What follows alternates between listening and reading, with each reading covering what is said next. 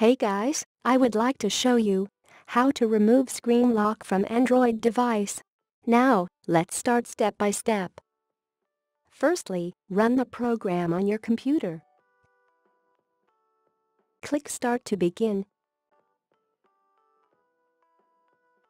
Connect your locked Android phone to PC.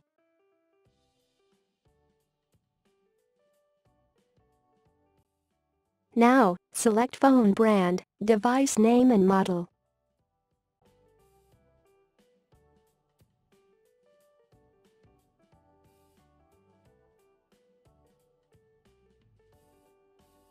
Type confirm.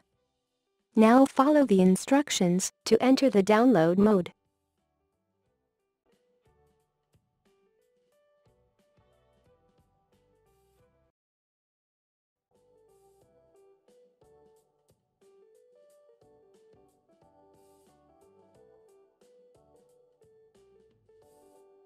This is how we remove screen lock from Android.